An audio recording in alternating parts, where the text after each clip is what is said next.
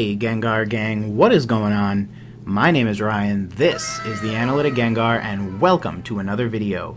In today's video, friends, we go over PSA grading standards for unopened packs, and today's video actually comes to us all the way from the humble land that is Instagram. So big shout out to Nick Sullivan. Nick, hope you're doing well, bro. And I hope you get a chance to watch this video. I apologize that it takes me 40 years plus a couple of months to uh, you know, get this stuff done. But here I am. Uh, you know, hope this video can help you answer all of your questions regarding uh, grading standards for unopened packs, and hopefully the same is true for everyone checking out today's video. Hope you all are doing well, and without further ado, let's get into today's video um, and talk about the grading standards for unopened packs. So, two big notes that you have to take into mind when you're looking at the stuff. The first is what I'm showing on screen right now, which is the date on this particular article.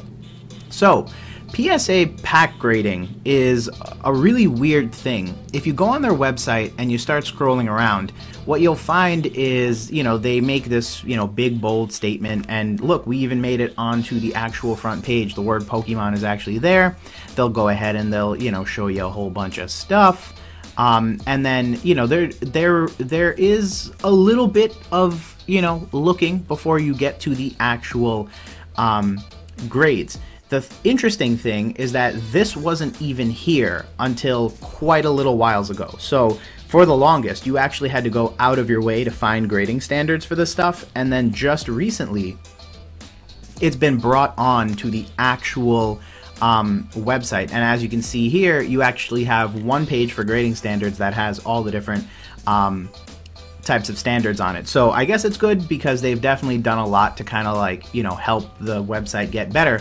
Um, but yeah, so that's the first thing to note is that some of this stuff um, is going to be a little bit more aged. I don't know, and I did do a, like just a literal check on the differences between the two, and there's no change. So interestingly enough, the article from August 7, 2006, and the one from here is almost identical, plus or minus things like formatting and obviously the way that it's uh, tabulated on screen.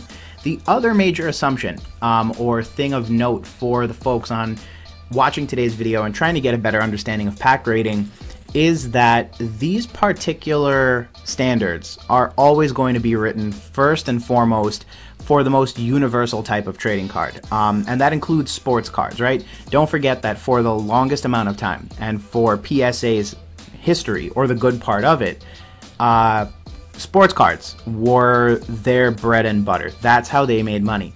And so don't forget, Professional Sports Authenticators does a lot of sports card authentication. That's why you'll see a lot of the standards that we're going to go over today um, were kind of written with sports with sports cards primarily in mind, and then they kind of like slowly moved into Pokemon. Obviously, nowadays, Pokemon has literally inundated PSA and many other grading companies, and so I do have a very strong feeling that in the future, we will see a lot more very specific Pokemon language, if not our own set of grading standards. But don't forget that, you know, for the majority of time that many people have been collecting, we've always been taking the more generic standards that are written primarily for sports cards and sort of shaping them and adapting them to our hobby as a result of the way that things are written. So do bear in mind, I will try to call those things out, but for the most part, you will also have to be cognizant of them as you sort of read and try to understand this stuff. Now, like any good YouTuber, I will proceed to read word for word all of the information that's clearly on screen and that you could very easily find if you go follow the link that I'll leave in the website for you and that's how we're going to make content. I'm kidding, of course, and if you're not already a fan of the channel, get used to this dry ass humor because that's the only way we do things here. Uh, instead, what I have done is I've gone ahead and basically read the stuff top to bottom. And the idea behind that is twofold. One, I'll call out the big buzzwords for you as we're going down, starting from Gem Mint 10 and working our way down to, I believe it's Poor 1? Yeah, Poor Poor, Port of Fear. Um, And the idea will be I'll call out sort of the big things and the big tickets along each of the different standards, as well as calling out the patterns. And I think the patterns are more important than anything else, because as you are trying to learn and understand and potentially submit cards to get graded at PSA and packs to get graded at PSA, it's going to be important to identify the patterns and then see how those patterns typically tend to grade if you think about it, we already kind of do this with our cards. Whenever you're trying to grade a holographic, what are some of the things you look for? Whitening on the back, scratches on the holo, right? Those are patterns that we use to identify whether a card is immediately not going to get a 10 or does it have a crease on it? Does that mean it's automatically going to get a 6 or lower? So those are the types of patterns that I'm going to try to call out in this particular video to also help you as well. So without further ado, let's get into it, starting off with our Gem Mint PSA 10 packs. A couple of things. Um, PSA uses some very specific language here. It needs to be clean, so it obviously doesn't need to have boogers on it or glue on it from when you had this pack in your back pocket in school it gives the appearance of being box fresh. And I think that's something really, really interesting to bear in mind, right? These packs will look as if you opened a booster box today and went ahead and started, you know, grading these packs. So that's an important distinction. Um, one of the other major things that they have here is that it will have um, superb or super eye appeal. Eye appeal is one of those things that PSA has always kind of hidden behind. It's kind of weird. Um, for any PSA 10 trading card that I've that I've ever submitted, I've always noted that PSA cards do allow a 10 to have a very very slight small imperfection, but the pack or the card still needs to show superb eye appeal. Basically, what does that mean? If you're holding this thing in your hand, even if it has a very small defect, it's a defect that is in a location or is in an area that doesn't take away from the overall looks of the card. When you're looking at it at first glance, it really, really does look gem mint, and that's the whole point. So for PSA 10s, whenever you're trying to submit packs, you want to make sure that they look or are box fresh, that they're very clean, and that you know, even if it's something that's coming directly from the factory, that it doesn't have any absurdly large or very ugly looking defects. For example, like when packs jostle around in a booster box and get crumpled at the top and bottom. Moving on to PSA 9s, PSA 9s are where we start introducing some wear, some slight soiling. So now these packs can get a little roughed up. Bear in mind, PSA 9s look exactly like 10s, but exhibit one flaw.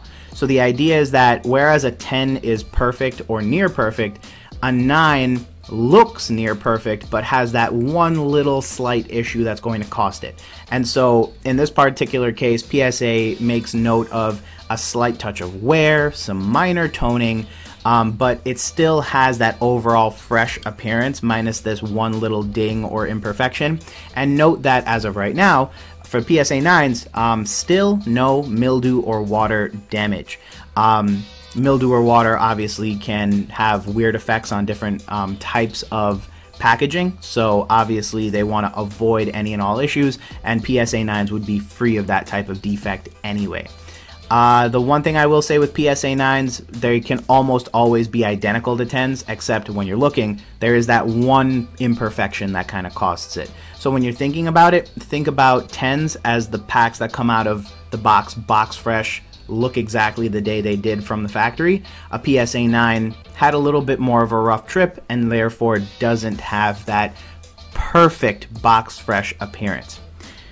PSA 8s are where mildew and water damage begin getting considered into the mix. So if your card has a little bit of mold, mildew, or water damage, here is where your card will immediately be placed. Now, PSA 8s will have many of the attributes of a PSA 9, and that'll be a pattern throughout, right?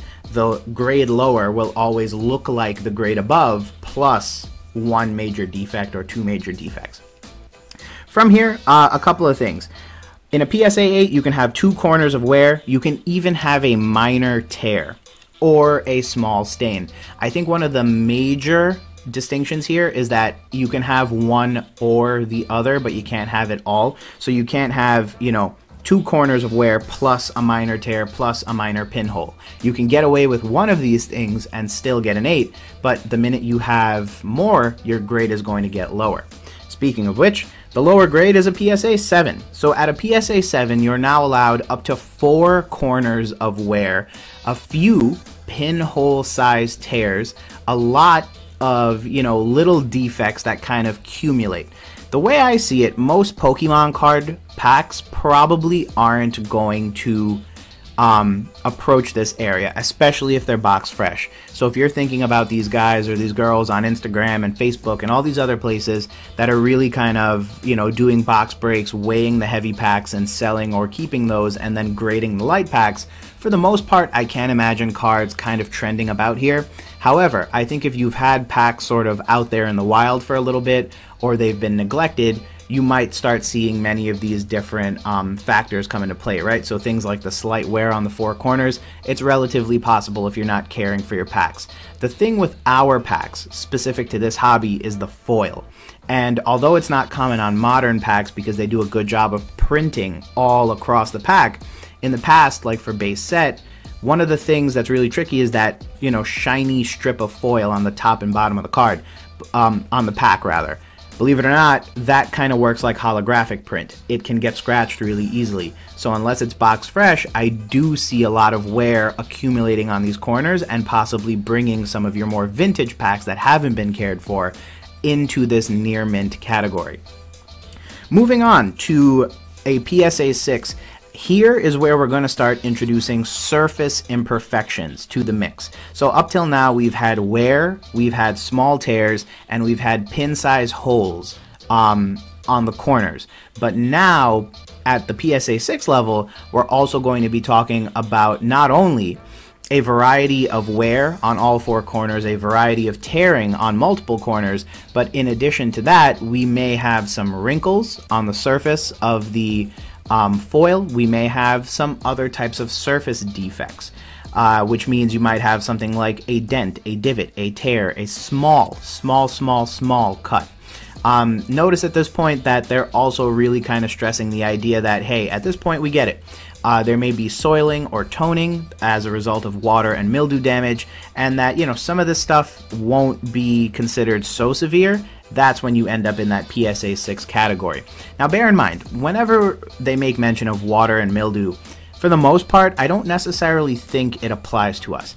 I think it applies more towards sports cards, especially vintage sports cards, when they either had wax packs or they had paper packs. Those paper packs can get moldy if not stored properly over the years. And again, bear in mind, many of the baseball, football, basketball, and hockey trading cards are double, triple, quadruple the age of Pokemon cards. Pokemon cards, in the grand scheme of things, are only about 20 year, 25 years old as of this year. And on top of that, to my knowledge, every single major trading card set has been released in a foil pack. Foil, because of its very nature, will be water resistant, which means if it spills, you can wipe it off. I don't know how watertight they are. And the other thing is, is that even if they do get moldy, I'm pretty sure you can wipe them off um, and maintain them. And again, 25 years isn't as long, which means the chances of stuff getting moldy, all you know, albeit equal across the you know the the spectrum of hobbies is probably less perverse in our hobby and that's mainly because you know it's only up till recently that pokemon cards have been cool quote unquote to collect to the masses and because of that um, I don't really think there's many folks out there with mildew damaged cards. Could it happen? Probably. Will these standards probably apply to one specific situation? Sure, but I don't necessarily know how widespread it is as compared to other hobbies. For PSA 5, we have now entered the realm of clear tearing. And this is an important note. If your pack has any kind of tearing, obviously this means you should probably expect a PSA 5 or worse. Um, and so you'll have wear on all four corners, one or two clean tears along the edge or the corners. And the other thing that they introduce in this particular category is stains and discoloration. Again, because we have foil that these uh, packs are then printed onto, in the grand scheme of things, I don't expect us to have much discoloration. Um, the most frequent defect that we find in vintage Pokemon cards tends to be a um, print quality distinction. So you might find that some packs are darker than others, and that's just because they used a heavier or fresher batch of ink than in previous runs. Um, but discoloration is rare among Pokemon card packs unless they've been left out in the sun, and the sun has really done quite a good job of fading these cards. Again, as time goes on, I'm sure more and more sun faded packs may show up. Um, you know, from storage, from oh my grandpa used to run a card shop and he left these in his storage or something like that. Um, but again, when you think about the way that we store trading cards, I think there's actually a pretty good chance that again, for the history of the English TCG, most stuff ships from the distributor in a cardboard box, and those cardboard boxes do an excellent job of blocking out the sun due to their opacity. And so, a problem we may see less and less of, but definitely something to consider when you're submitting your packs as well. At PSA 4, we're talking a severe tear. So now we're talking wear will almost always be present on all four corners. Um, you know, holes and tears. You'll have a severe tear that can really kind of, you know, really show something on the pack, or you may even be able to see a few cards underneath. The seal could be misaligned. Um, the surface will have discoloration, staining, soiling, uh, possible damage due to mildew and water. So yeah, yeah, it's a you know it's a pretty rough pack. Now here's the thing: you might ask the question, well, Ryan, at this point, why are we even considering um, the cards that you know submitting packs of cards that are this rough? Well, maybe not for our hobby, but for other hobbies, there are some really old trading card packs. Um, and so even if they're in this rough condition, they're still, you know, historically significant, if not very significant to the hobby. And so, um, you know, while it may not apply to us because we're so young, there are other hobbies that are far more mature where, you know, there might be 100 year old packs out there that will immediately grade a 4 but are still worth, you know, hundreds, if not thousands of dollars. Uh, at PSA 3, we've got moderate tears along pretty much, you know, the entirety of the pack. We've got heavy soiling, we've got residue, we've got um, heavy mildew damage that starts to bleed from the surface of the wrapper. We're getting to that point now where, you know, the pack is more damaged and less legible than it should have been in any other prior format. And at this point, we've definitely lost that pack fresh look. You can definitely tell that this pack has been through some stuff. At a PSA 2, um, one key distinction here is that the pack um, now has degraded to the point that two things have happened. Heavy soiling and residue from foreign sources will hinder eye appeal substantially. So at this point, it's no longer looking like a good pack. You probably don't even want to touch it because you're afraid of whatever residue or gunk is on the surface of this pack. The other thing is that uh, the corners and edges of the contained cards may be exposed. So that's an important thing to note is that you will start seeing sides of the cards exposed. Um, but the cards must still be held in the package by the pack and can't show any evidence of removal. So that's an interesting thing that I noted there is that um, you do really have kind of, you know, they're very strict on that, is that the pack could be exposing the cards, but you can't have gone to the point where like you know it's just an open pack and you could have easily taken the cards in and out. Um, in theory, some sort of seal still has to be maintained.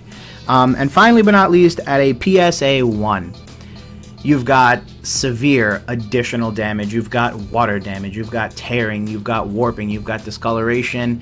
Um, at this point, they also introduced the factor that you know wear and tear may be such that it distorts the entire wrapper.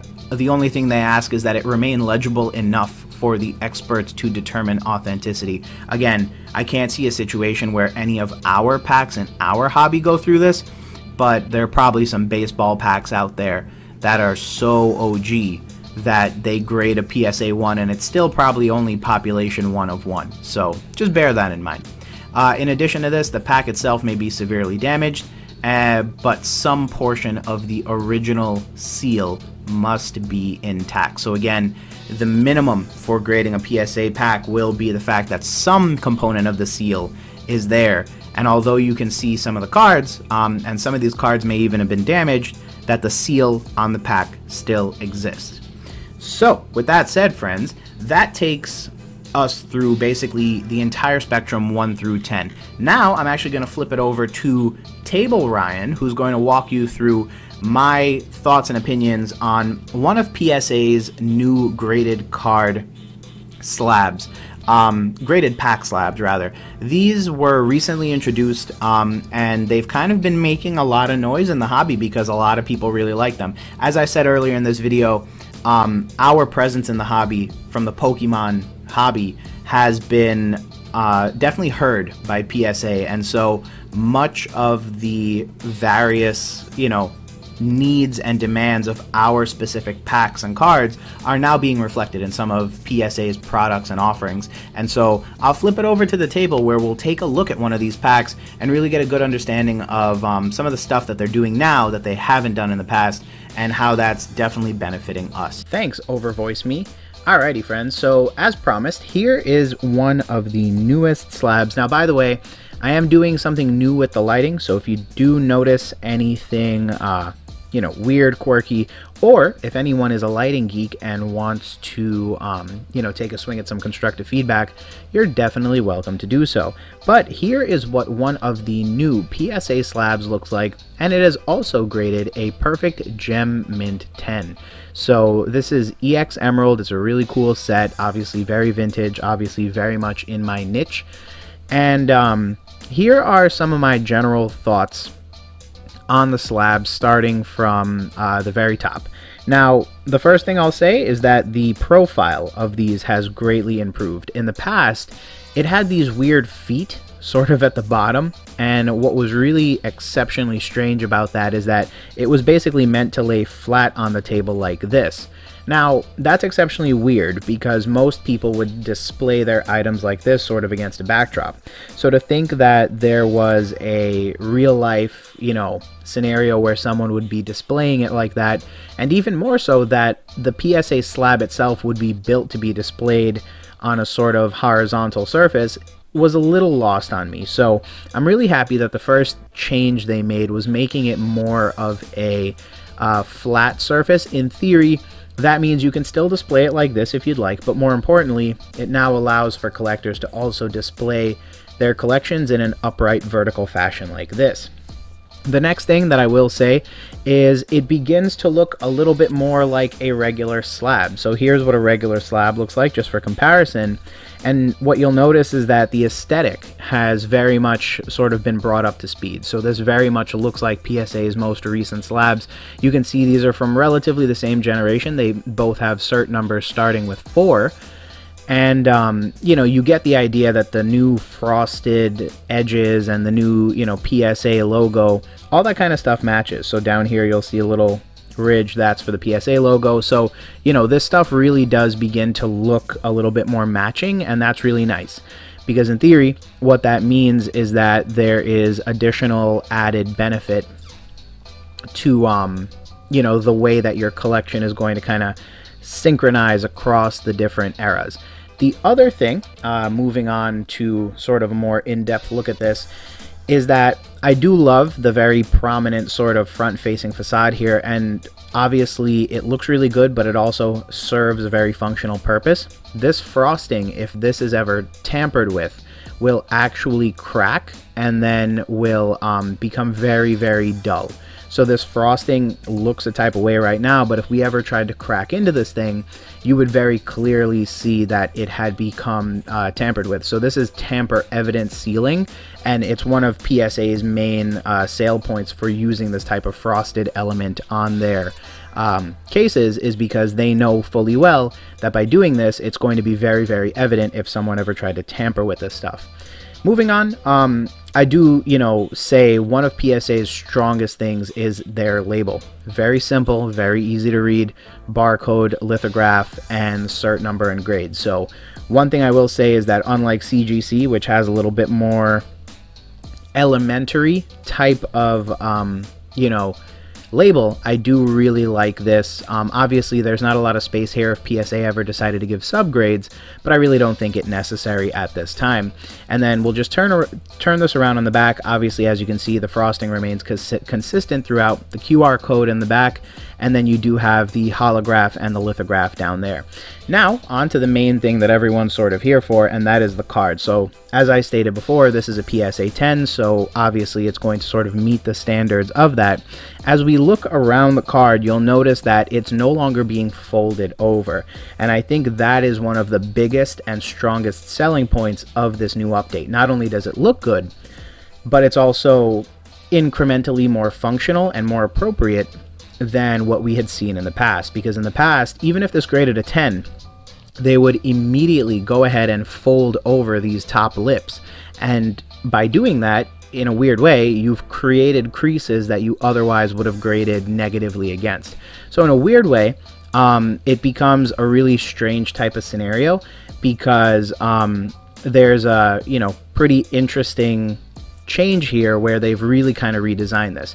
Now, what I've noticed upon closer inspection is that this area up here and down here where my thumb and index finger are, are looking to be kind of optional. Now, in the past, I had mentioned that PSA cases were actually made for wax packs, and wax packs were basically sealed in wax, and that's why for other types of hobbies like Pokemon, what you notice is that once they introduce these and these have these sort of crimps on the top and bottom instead of wax seals, they had to come up with a way of using the same exact case to address that issue.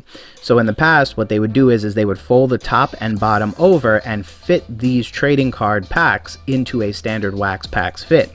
But now, they've created this new case, and this is kind of a hybrid because, in theory, if you were grading a wax pack, it still fits perfectly within this area. There just wouldn't be anything up here or down here.